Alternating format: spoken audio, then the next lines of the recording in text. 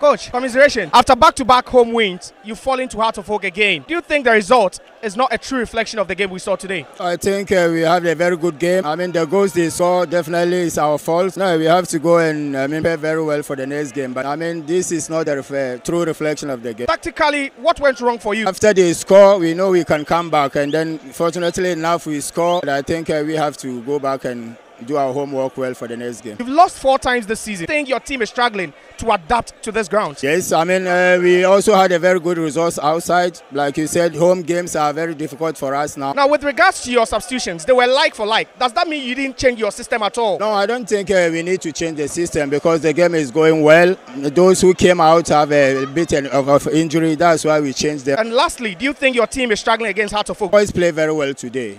I congratulate my boys for this performance and we hope that next time we'll be fine. Better luck next time. Thank you.